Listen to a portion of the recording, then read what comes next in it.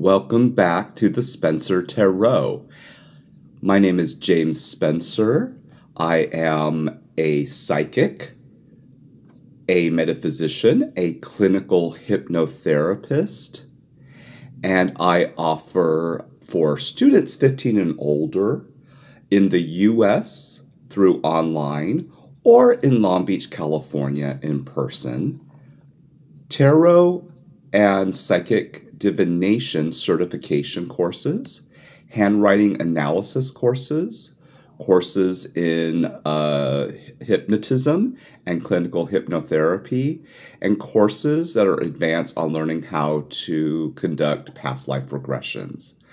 I am the owner of Intuitive Wholeness, located in Long Beach, California, where I do psychic readings, tarot readings, uh, again, hypnosis, regression, and, uh, you know, I'm a creativity and life coach. And in addition, I am the owner of Spencer Artist Development, and my main business is I work with um, advanced, talented artists, specifically actors, voiceover artists, musicians, and models in preparing for the careers in the arts. And I am professor of the University of West London for their drama and music grade and diploma programs. Today, um, I was asked, could you please show me a highly effective relationship tarot spread and I would like to today do that.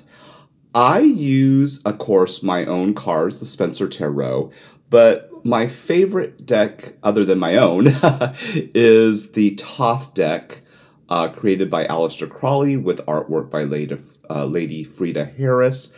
And with that deck, I feel it works at a multi-dimensional level. Most decks out there are relatively good about giving you um, the gist of what's happening or you know reading you know the potential for the future but they don't get into the deeper core issues that can make for lasting change that can release ancestral karma and toxic patterns you're holding on to to bring you into a much more higher vibration and spiritual maturity. And that's what the spreads that I have on my Spencer Tarot channel will do for you if you choose. And they go deeper than most readings.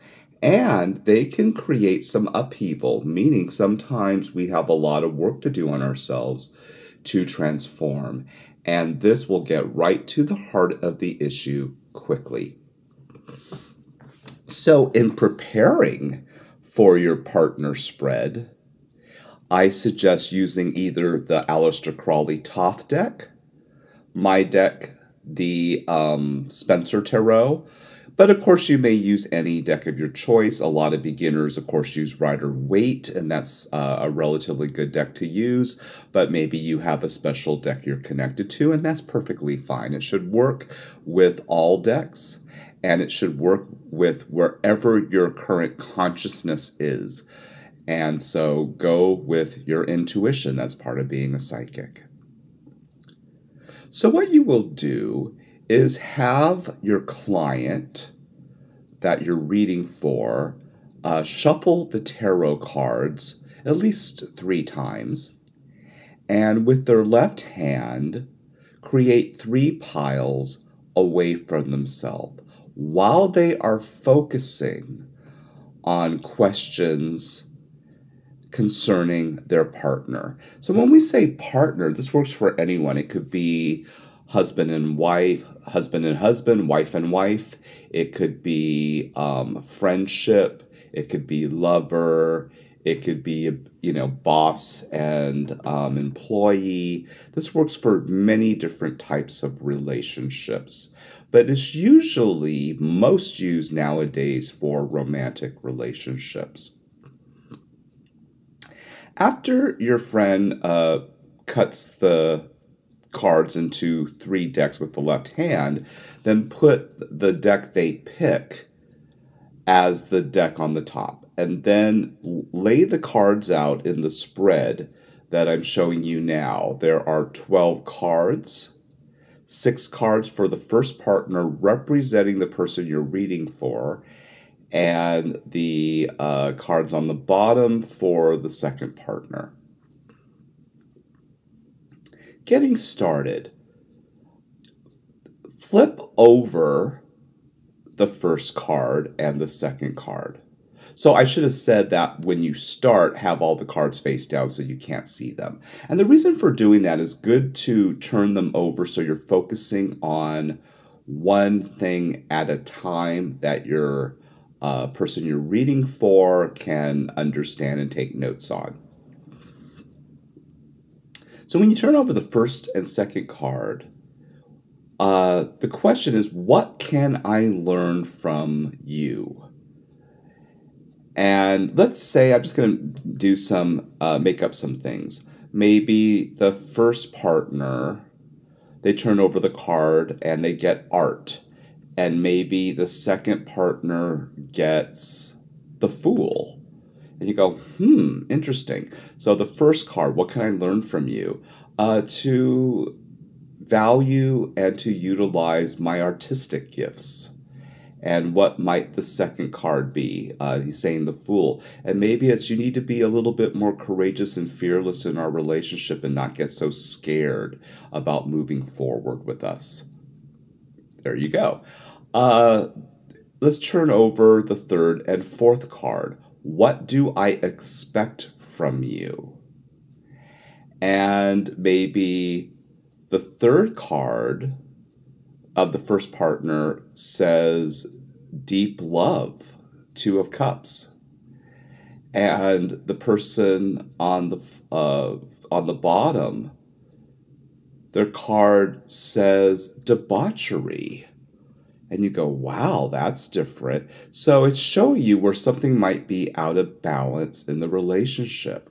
One partner is ready for deep love and commitment, and the other partner is using some kind of vice, maybe alcoholism or smoking or food, to mask over deeper fears or deeper problems that they are facing in getting through and developing a deeper connection. So there's no blame game, but this brings awareness to areas that people in the relationship need to work on. So maybe the first partner is like, well, how can I support you get over your addiction? And let's talk about this. And this is what is sometimes hard in relationships. One person is more spiritually evolved, and the other is stuck. And the partner that, let's say, is moving towards addiction and debauchery, maybe they're ready for change, and maybe they're not. And their decision is going to affect the other partner. So the other partner might be like, if you're not willing to face your addiction, I'm out of this relationship because I love myself enough to know that this is not right for me. Or maybe the partner's like, yeah, I have a problem, and there were some things that happened before I entered this relationship that brought me into this addictive behavior, and I need to face it. And now the other partner is like, I'm here for you. Let's work on this together because I want to be with you. And this is where the relationship can grow quickly and get to a space that is much more positive how can I be more supportive? The fifth and sixth card. And maybe uh, one gets um, the Prince of Dis or the Prince of Coins, which is physicality. And the other one, uh, the other card gets the devil. How about that? Okay. So one person is like, um, you could be more supportive by um, you know being in exercise and in um, you know, working on bodies together. Maybe as a couple, we're going to work on eating better and working out together. And um, the devil represents, hey, maybe what the other partner um, is a workaholic. And it's like hey we need to have a little bit more fun and do what bedevils us and indulge and maybe be more playful in our relationship. Or maybe we need um, to talk more about our sexual desires. Sometimes that's what the devil means. And you know where are we in, inhibited sexually? Where, what are we not discussing? Um, what does the partners like sexually and how do they like to make love? And maybe that's getting to you know a deeper issue. When we turn over the seventh and eighth cards what can i do to be a better partner? Usually the cards that come up will tell areas that each person needs to work on in their relationship. So let's say the um, seven the seventh card for the first partner comes up the emperor. And that represents they need to take more of a leadership role. Maybe they're not being as responsible with finances and paying bills or setting up finances for the future. Maybe they are in a mediocre job they hate, and now it's time to really develop a career that's their passion. Or maybe it means going back to school to become a leader. And maybe the eighth card for the other partner might be something like the magician, which means they need to really communicate more. Maybe they're shutting down and not talking about what's really going on outside the relationship, like maybe at work or with family or fears they are facing. Also, the magician is about allowing and trusting as a relationship, bringing towards the couple things they need to have a deeper relationship and to grow. Now, the ninth and tenth card. What does my partner need from me? Now we're in the reverse.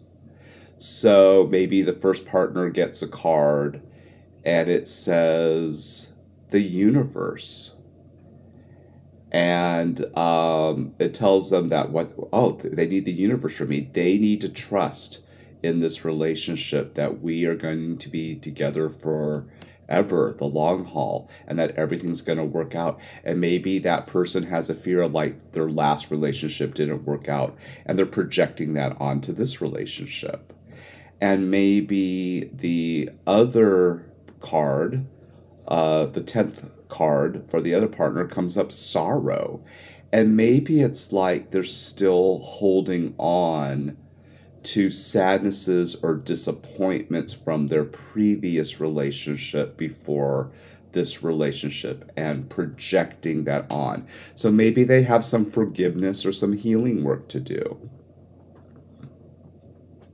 Now to the final two, the 11th and 12th card what is the direction our relationship needs to take? And this is very revealing. It can show you what is not working in the relationship and how to fix it quickly. So let's say uh, the 11th card is abundance for the 11th card. And so it's saying that we as a couple need to work on our abundance consciousness and saving for the future, making plans for maybe they're you know they're living in a studio apartment. Maybe they need to make plans to make more money and save together so they can move into a larger uh, more conducive place to live. Or maybe it's saving for a house or real estate.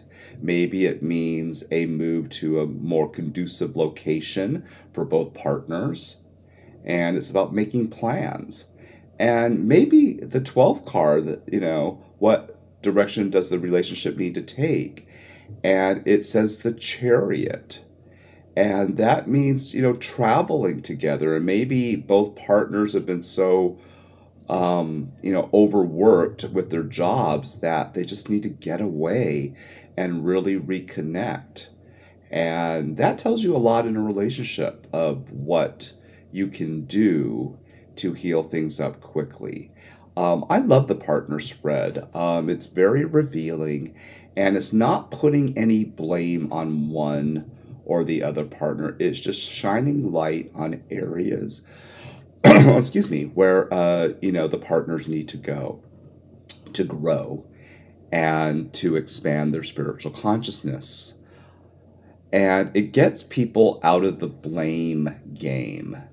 It gets the partners working together for their highest good.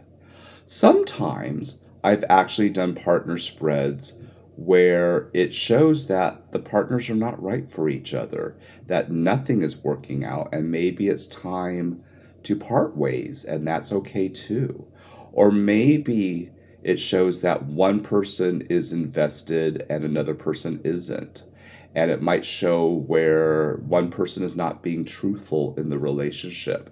Um, it can easily point out um, what I call codependencies, uh, where uh, maybe um, one partner is using his financial power over a partner who is using sex appeal to get what they want. So each person is using the other, and it's not truly a high level relationship. And it's going to point those things out. So, you know, what's interesting about the partner spread is all the lies, all the manipulations, all the shadiness, all the hiding the truth comes out. And what you might deal with if you have both partners in front of you is someone saying, I don't do that, but it's in the cards.